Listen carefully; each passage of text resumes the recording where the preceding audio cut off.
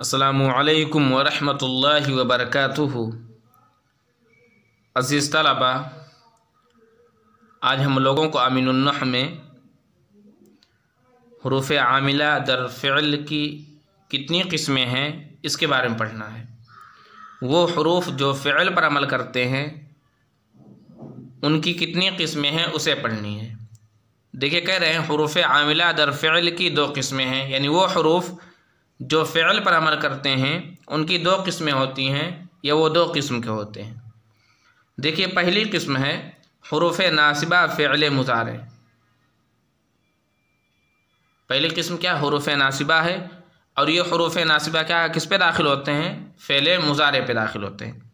यानी वो हरूफ जो फ़ैल मुजारे पे दाखिल होते हैं और फ़ैल मुजारे को नसब का अराब देते हैं। हरूफ नासिबा फ़ैल मुजारे की तारीफ़ क्या होगी? वो हरूफ जो फ़ैल मुजारे पे दाखिल होते हैं और फ़ैल मुजारे को कौन सा अराब देते हैं? नसब का अराब देते हैं। बात समझ में आ रही है? वो हरूफ जो फ़ैल पर दाखिल होते हैं, जो फ़ैल पर अमल करते हैं, उनकी पहली किस्म क्या? हरूफ नासिबा, फ़ैल मुजारे।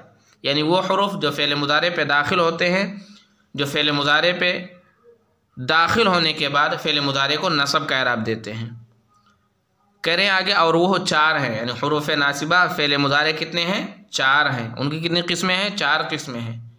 नंबर एक, अन, लन कई इसन पहला क्या है? अन है, दूसरा क्या है? लन है, और तीसरा क्या है? कई है, और चौथा क्या है? इसन है। यानी ये जो चारों हरूफ हैं, इन चारों हरूफ का नाम क्या है? हरूफ नासिबा है, और ये हरूफ किस पे दाखिल होते हैं? फ़ैल मुजारे पे दाखिल होते हैं, और फ़ैल मुजारे को नसब का एराब देते हैं। बात समझ में आ रही है? जी। आगे देखिए, आगे लिखा हुआ है, अन फ़ैल मुजारे के साथ मिलकर मसदर के माने में होता है, इसलिए इसको अन मसदरिया कहते हैं। आगे क्या कह रहे हैं? कह रहे हैं कि अन जब ये फ़ैल मुजारे पे दाखिल होता है तो ये अन फ़ैल मुजारे से मिल करके मसदर के माने में हो जाता है। यानी ये फ़ैल मुजारे को क्या करता है? मसदर के माने में कर देता है। जैसे मिसाल के तौर पे उरी दो अन अक्तूबा। उरीद अन अक्तूबा। अन को हमने किस पे दाखिल किया? फ़ेल मुजारे पे दाखिल किया। मैंने क्या बतलाया? कि अन ये फ़ेल मुजारे के साथ मिलकर के किसके माने में हो जाता है? मसदर के माने में हो जाता है। जैसे उरीद अन अक्तूबा। उरीद मैं चाहता हूँ अन अक्तूबा, ये कि मैं लिखूँ। उरीद अन अक्तूबा, मैं लिखना चाहता हूँ। अन अक्तूबा, यानी अन ये फ़ेल मुजारे के साथ मिलकर के किसके माने में हो गया? मसदर के माने में हो गया। यानी अभी ये किसका माना दे रहा? है कतबन का माना दे रहा। है किसका?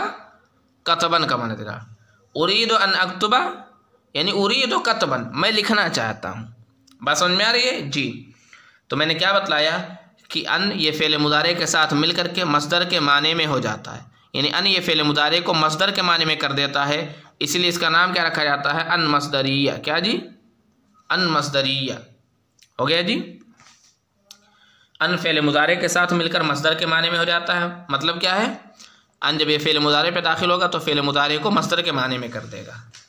इसीलिए इसको क्या कहते हैं? अन अनमसदरिया भी कहते हैं। जैसे मिसाल दी गई है, उरीद अनतकोमा उरीद मैं चाह, उरीद अनतकोमा मैं चाहता हूँ ये कि तुम खड़े हो जाओ। यानी मैं तुम्हारा क़्याम चाहता हूँ।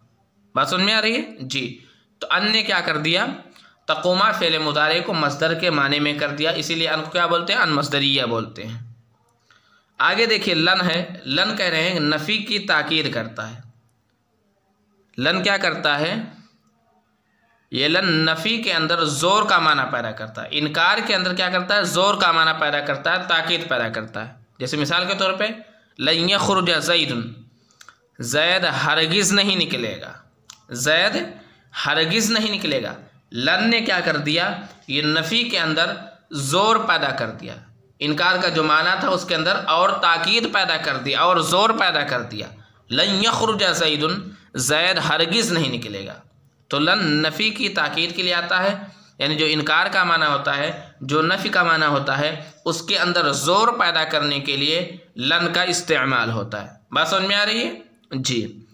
आगे देखिए, आगे कह रहे हैं, कई ताकी के माने में आता है। कई कौन सा माना देता है? ताकी का माना देता है। जैसे असलम तो कई अदखुल जन्नता, असलम तो मैं इस्लाम लाया, कई अदखुल जन्नता, ताकि मैं जन्नत में दाखिल हूँ। असलम तो कई अदखुल जन्नता, मैं इस्लाम लाया, ताकि जन्नत में मैं दाखिल हूँ। तो कई कौन सा माना देता है? ताकि का माना देता है। इज़न के बारे में देखिए। इज़न किसी के जवाब में आता है। इज़न कब आता है? इज़न का इस्तेमाल कब होता है? ये किसी के जवाब में आता है। जैसे कोई कहे, अना आती का गदन। मैं कल तुम्हारे पास आऊँगा। तो जवाब में क्या कहे वो? इज़न उकरीमा का तब मैं तुम्हारी तकरीम करूँगा, तब मैं तुम्हारी इज़्ज़त करूँगा। तो इज़न क्या होता है? किसी के जवाब में आता है। बात समझ में आ रही है? देखिए, खुलासे कलाम क्या है? खुलास कलाम ये है कि अन, लन, कई और इज़न। ये जो चारों हरूफ हैं, ये फ़ेल मुजारे पे दाखिल होते हैं और फ़ेल मुजारे को नसब का एराब देते हैं। जैसे अन तकूमा अन फ़ेल मुजारे पे दाखिल हुआ। फ़ेल मुजारे को नसब का एराब दिया। नसब की निशानी क्या है? फ़ेल मुजारे के आखिर में फ़तहा है। लन खरुजा, लन फ़ेल मुजारे पे दाखिल हुआ और फ़ेल मुजारे को नसब का एराब दिया। नसब की अलामत क्या है? निशानी क्या है? फ़तहा है। फ़ेल के आखिर में। असलम तो कई अदखुल जन्नता। कई फ़ेल मुजारे पे दाखिल हुआ और फ़ेल मुजारे को नसब का एराब दिया। नसब की निशानी क्या है? अदखुला, यानी फ़ेल के आखिर में फ़तहा की अलामत है। इज़न उकरीमा का इज़न फ़ेल मुदारे पर दाखिल हुआ और फ़ेल मुदारे को नसब का एराब दिया। नसब की निशानी क्या है? फ़ेल मुदारे के अखीर में, यानी मीम पर क्या? फ़तहा लगा हुआ है। बात समझ में आ रही है? जी। तो अन लन कई और इज़न, ये क्या है? इनका नाम हरूफ नासिबा है और ये फ़ेल मुदारे पे दाखिल होते हैं और फ़ेल मुदारे को नसब का एराब देते हैं। आगे देखिए, आगे लिखा हुआ है, जानना चाहिए कि अन छः हरूफ के बाद मुकद्दर होता है और फ़ेल मुदारे को मंसूब करता है। आगे क्या कह रहे हैं कि ये बात अच्छी तरह से मालूम होनी चाहिए कि अन छः हरूफ के बाद मुकद्दर होता है, यानी अन छः हरूफ के बाद छिपा होता है, ज़ाहरी तौर पे लिखा नहीं होता है। और उसी अन की वजह से फ़ेल मुदारे को नसब का एराब मिलता है। क्या कह रहे हैं कि अन छः हरूफ के बाद मुकद्दर होता है और जो अन मुकद्दर होता है, उसी वजह से फ़ेल मुजारे को क्या मिलता है? नसब का एराब मिलता है। देखिए पहली जगह जहाँ मुकद्दर होता है, जहाँ अन छिपा होता है। पहली जगह है हत्ता के बाद। हत्ता के बाद क्या होता है? अन छिपा होता है, मुकद्दर होता है। जैसे मरर तो हत्ता अदखुल बलदा। मरर तो मैं गुज़रा, हत्ता अदखुल बलदा, यहाँ तक कि मैं शहर में दाखिल हुआ। मरर तो हत्ता अदखुल बलदा, मैं गुज़रा, यहाँ तक कि मैं शहर में दाखिल हुआ। अदखुला को नसब कह रहा मिला है क्यों? क्योंकि हत्ता के बाद अन छिपा हुआ है, जिसकी वजह से अदखुला को नसब कह रहा मिला है। बात समझ में आ रही है? तो पहला हर्फ जो है, जिसके बाद अन मुकद्दर होता है, छिपा होता है, पहला हर्फ क्या है? हत्ता है। हत्ता के बाद अन मुकद्दर होता है, छिपा होता है। आगे देखिए, लाम जहद। लाम जहद के बाद भी क्या होता है? अन मुकद्दर होता है, अन छिपा होता है। लाम जहद किसे कहते हैं? लाम जहद कहते हैं, वह लाम जो काना नाफिया की ख़बर पर जायद हो। लाम जहद के बाद, लाम जहद किसे कहते हैं? वो लाम जो काना मनफिया की ख़बर पर जायद हो। देखिए, काना की ये ख़बर है, और ये काना कौन सा? काना मनफिया है, क्योंकि काना से पहले क्या लगा हुआ? है मानाफिया लगा हुआ है। तो अगर काना नाफिया की ख़बर पर लाम लगा, लाम जायद लगा हुआ है तो उस लाम को हम लोग क्या बोलेंगे? लाम जहद बोलेंगे। मा कान अल्लाह हम लेबा जो है, ये काना नाफिया की ख़बर है, यानी उस काना की ख़बर है, जिस पर क्या है? माँ नाफिया लगा हुआ है। काना नाफिया की ख़बर पर यह लाम जायद लगा हुआ है। इस लाम जायद को हम लोग क्या बोलेंगे? लाम जहद बोलेंगे। और लाम जहद के बाद क्या होता है? अन छिपा होता है, अन मुकद्दर होता है, अन ज़ाहिर नहीं होता है, लिखा नहीं होता है। इसका तर्जमा क्या होगा? मा कान अल्लाह लेयुज़िबहम अल्लाह रब्बुल उन्हें अजाब नहीं दे सकता। मा कान अल्लाह लेयुज़िबहम अल्लाह रब्बुल उन्हें अजाब नहीं दे सकता। देखिए युज़िबा ये लाम क्या है? लाम जहद है। और इस लाम जहद के बाद अन मुकद्दर है अन छिपा हुआ है, जिसकी वजह से युज़िबा यानी फ़ेल मुजारे, को नसब का एराब मिला है। बात समझ में आ रही है? जी। युज़िबा को नसब का एराब क्यों मिला है? क्योंकि लाम जहद के बाद अन छिपा हुआ है, और उसी अन की वजह से युज़िबा को नसब का एराब मिला है। देखिए, औ बमाना इलान या इल्लान के बाद। करें वो औ जो इलान या इल्लान के माने में होता है, उसके बाद भी अन छिपा होता है, उसके बाद भी अन मुकद्दर होता है, ज़ाहिर नहीं होता है। जैसे मिसाल देख लीजिए लमन का औ तुती अनी हक की लमन का मैं तुझसे चिमटा रहूँगा, मैं तुझसे लगा रहूँगा, मैं तुझे लाजिम पकड़ूँगा। अव तुती अनी हक की यहाँ तक कि तू मुझे मेरा हक दे दे। लमन का मैं तुझे, तुझसे चिमटा रहूँगा या मैं तेरे पीछे लगा रहूँगा? अव तुती अनी हक की यहाँ तक कि तू मुझे मेरा हक दे दे। देखिए अव जो है, ये इला अन के माने में है, या इल्ला अन के माने में है।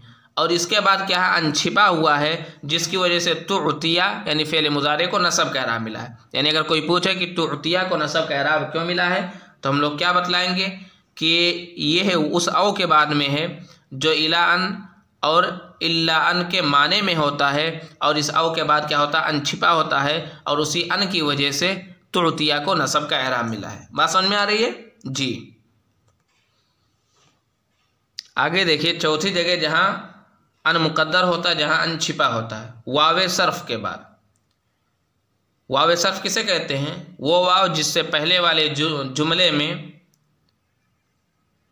नफ़ी का माना हो और दूसरे जुमले में नफ़ी का माना ना हो। वावे सर्फ किसे कहते हैं? वो वाव जिसके पहले जुमले में नफ़ी का माना हो, यानी हरफ नफ़ी हो, और दूसरे जुमले में हरफ नफ़ी ना हो।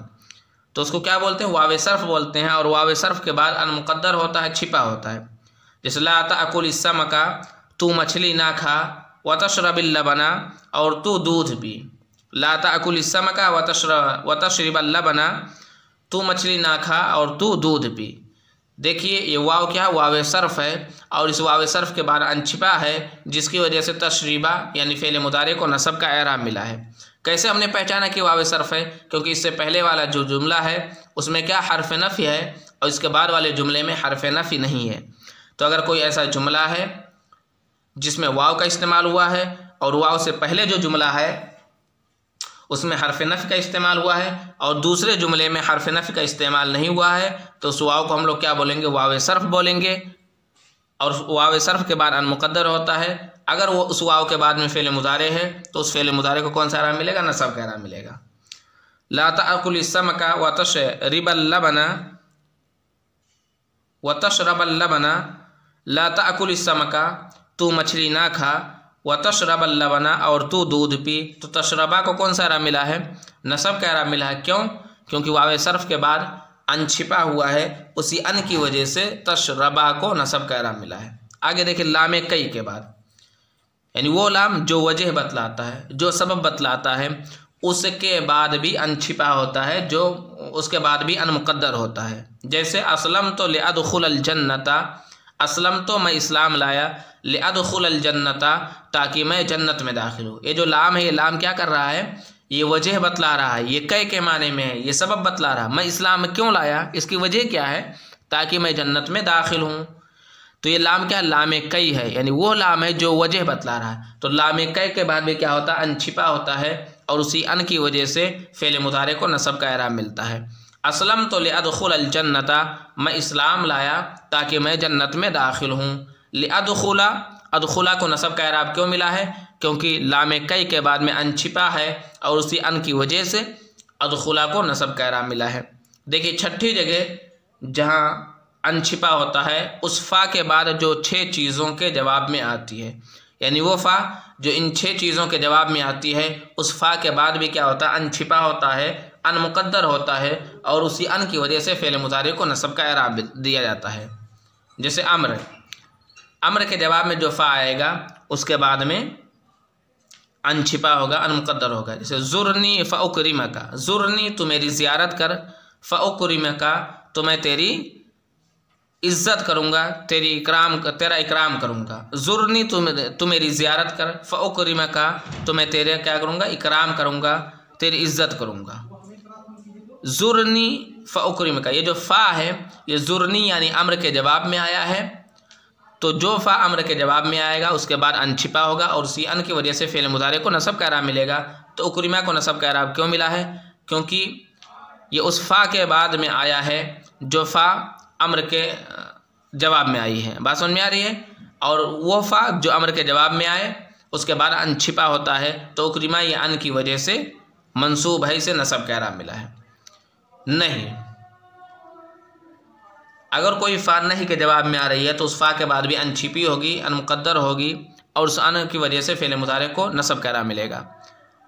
जैसे, ला तश्तिमनी फ़हीन का ला तश्तिम, ला तश्तिमनी तो मुझे गाली ना दे फ़हीन का जिसकी वजह से मैं तेरी बेइज्जती करूँ। ला तश्तिमनी तो मुझे गाली ना दे फ़हीन का जिसकी वजह से मैं तेरी बेइज्जती करूँ। तो ये फ़ा किसके जवाब में आया? नहीं के जवाब में आया है। और इस फ़ा के बाद अन छिपा हुआ है, जिसकी वजह से उहीना को नसब का एराम मिला है। नफ़ी के बाद, अगर कोई फ़ा नफ़ी के जवाब में आ रहा है तो उस फ़ा के बाद भी अन छिपा होगा अनमुक़दर होगा। जैसे माता अतीना फ़तुहदसना तू हमारे पास नहीं आया, ताकि हम क्या करें? गुफ्तगु करें, ताकि हम लोग बात करें। माता अतीना फ़तुहदसना तू हमारे पास नहीं आया, कि हम तुझसे बात करें। तो फ़तुहदसना ये जो फ़ा है, ये नफ़ी के जवाब में आया है। इस फ़ा के बाद अन छिपा हुआ है, जिसकी वजह से तुहदसा यानी फ़ेल मुजारे को नसब का एराम मिला है। अगर कोई फ़ा इस्तफ़ाम के जवाब में आ रहा है तो उस फ़ा के बाद भी अन छिपा होगा अनमुक़दर होगा, और उसकी वजह से फ़ेल मुजारे को नसब का एराम मिलेगा। जैसे आई नबई चुका फ़ाजूर का आई नबई चुका तेरा घर कहाँ है? फ़ाजूर का तो मैं तेरी ज़्यारत करूँ। फ़ाजूर का में जो फ़ा है, वो इस्तफ़ाम के जवाब में आया है। लिहाजा इस फ़ा के बाद अन छिपा है, जिसकी वजह से अजूरा, यानी फ़ेल मुजारे को नसब का एहराम मिला है। तमन्नी, यानी अगर कोई फ़ा तमन्नी के जवाब में आ रहा है तो उस फ़ा के बाद भी क्या रहेगा? अन छिपा रहेगा, और उस अन की वजह से फ़ेल मुदारे को नसब का एहराम मिलेगा। जैसे लई तली मालन फ़न फ़िक मिनहू, काश मेरे पास माल होता तो मैं उसे खर्च करता। लई तली मालन काश मेरे पास माल होता फ़न फ़िकमिन हो तो मैं उसे खर्च करता। ये जो फ़ा है, ये तमन्नी के जवाब में आया है। लिहाजा इस फ़ा के बाद क्या अन छिपा हुआ है? और उसी अन की वजह से उन फ़िका को नसब का आराम मिला है। अर्ज़ के बाद, जैसे अला तंजिल बिना, तू हमारे पास क्यों नहीं आता? फ़तुसी खैरन, ताकि तू भलाई पाए। अला तंजिला बिना फ़तुसी खैरन, तू हमारे पास क्यों नहीं आता? ताकि तू भलाई पाए। अला तंजिला, ये अर्ज़ है। अर्ज़ के जवाब में फ़ा आया हुआ है। इस फ़ा के बाद क्या अन छिपा हुआ है जिसकी वजह से तुसीबा को कौन सा आराम मिला है? नसब का एराम मिला है। समझ में आ रही बात? जी। ये हो गई पूरी बहस। कल हम लोगों को क्या करना है? इस पूरी बहस को अच्छी तरह से याद करना है और कुछ मिसालें भी लिख करके लानी है। अन लन कई इज़न इनमें से हर एक की हमें आ, क्या कितनी मिसाल लिख कर लानी है? इनमें से हर एक की तीन तीन मिसालें लिख करके लानी है। फिर उसके बाद में अन क्या होता है? छः हरूफ के बाद छः हरूफ के बाद मुकद्दर होता है। छः हरूफ के बाद छिपा होता है। उनमें से हर एक की दो दो मिसालें लिख करके हम लोग लाएँगे। सुन मेरी बात? जी। अज़ीज़ तलबा, आज के दरस में बस इतना ही। वसलम वरहमल वर्का